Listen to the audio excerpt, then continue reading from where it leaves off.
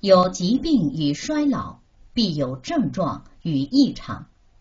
症状与异常可感可见，是疾病与衰老之具体表征；而疾病与衰老，则是所有症状与异常的抽象代名词。什么叫异常？异于过去正常的状态。简单的讲，比如说我现在白头发，白头发是老还是病？哎，你们不是不知道吗？怎么一下子又这么笃定说我老不是病呢？那如果年轻人差不多二十几岁就白发苍苍呢？那是老还是病？病。那你们对头发，因为他年纪不同而赋予老跟病，你们脑袋是很复杂的。哦你们有没有听过一个词叫做什么？未老先衰，有没有？那如果白头发在二十几岁就产生，是病还是未老先衰？未老先衰，衰就是衰老哎，还没有老，他已经老化了，而不是说他已经病了。只有你们说他病，要不然这一句就不能成立了。那我是老，年轻的就是病了，是吧？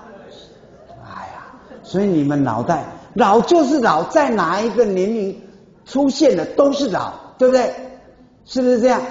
那如果我脸皮皱，是老还是病？如果二三十岁他就脸皮跟我一样，是老还是病？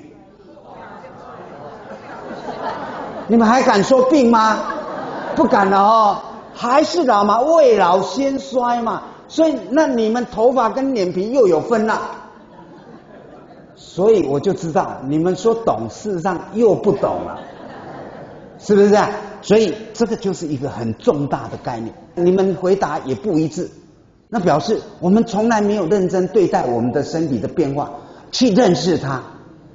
啊，那事实上疾病已经讲得很清楚了。中医几千年来就是要治疗疾病，医学不是为疾病，难道他研究完假的吗？就是要解决我们身体的疾病，那疾病具体发生在身上的是什么症状，对不对？症跟状。那衰老具体发生在我们身上的就是异常，我们用这个异常来取代。那当然异常也有外表的，目视手触就可以摸得出来。我看到你白头发，我就知道你老，对不对？脸皮皱就老了嘛，对不对？我用手指头摸，摸出你。骨头好像跑掉，不在正位，这个就是异常，对不对？好，那异常它是老哦，不管你用手摸的，或是眼睛看的，那个异常是属老哦。那如果你要称为疾病，一定要有症，要不然就是有状哦。你这样切开，你绝对不会搞混。那我们中医不是在解决白头发，不是在解决脸皮皱，而是要解决你的身体的。症跟状，但中医又没有把症跟状讲清楚，它统称为症状。但是症跟状它来源不一样，比如说症找开关按一按就可以解决，尤其症的不适感，我们刚刚已经讲，对不对？但到了状的组织受损，找开关会不会好？不会好，它还是属于本处体伤啊，所以它一定要怎么样？靠内外热源，然后。激发我们人体的治愈力、修复力，才能够修复好的。所以表示他们两者的来源有没有一样？不一样。一个是他处体伤引起，他处体伤就是找开关，也就是进来。当我们看到一屋子漆黑，你第一个会怀疑电灯坏还是开关没开？认为开关没开的举手，我看一下，你们第一个习惯。啊，没有棘手的，就是看到一片漆，马上拿楼梯去修理电灯的。你们就是这样吗？那你们太可怕了，是吧？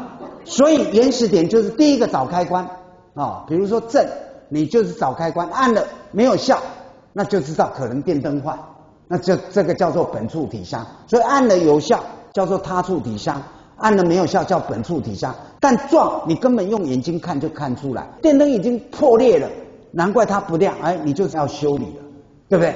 那个状是可以眼睛看就看得出来啊。那你们就知道，原来症跟状，它的表现有没有一样？不一样，它的体相来源也不一样。那你都不知道它体相来源不一样，你怎么治疗？但中医一开头就没有把症状解释清楚。我们说实在话，所以原始点第一个，既然要解决疾病，因为它称为原始点医学，毕竟还是要解决疾病嘛。啊，疾病具体发生在身上还是症状，跟中医是一模一样。